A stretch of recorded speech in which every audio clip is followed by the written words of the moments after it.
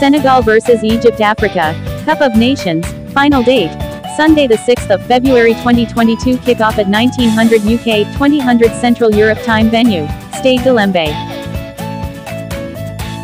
Senegal vs Egypt head-to-head H2H. The latest meeting had ended in a 1-0 win for Sadio Mane co. They are on a winning streak since 2014, and are on an unbeaten run since 2006. They had kept clean sheets in four of the last six matchups. 100% of clashes had fewer than three goals, barring one encounter.